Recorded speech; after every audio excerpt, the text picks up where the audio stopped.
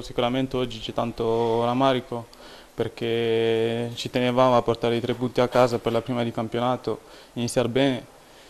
Eravamo in vantaggio 2-0, speravamo di poter portare il risultato così fino alla fine. E purtroppo si è pareggiato, però pensiamo subito alla partita di Carrara della settimana prossima e cercheremo di rifarsi. Ecco, secondo te nel secondo tempo cosa è mancato? Un po' di lucidità nel finale, gestire meglio alcune situazioni, perché anche il Como alla fine ha fatto quei due gol, però non mi aveva mai creato particolari problemi.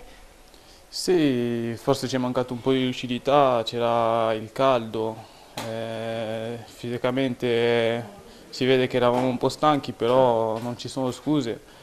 Abbiamo, fatto, abbiamo preso due gol su degli errori nostri e cercheremo di lavorare per che non ci sia più. No, per me questa è una stagione molto importante. Penso che qui ad Arezzo la società, il direttore, il presidente insieme al mister hanno fatto un grandissimo lavoro per allestire una squadra competitiva. Io sono molto contento della, della fiducia che mi hanno dato e qui insieme alla squadra cercheremo di far bene.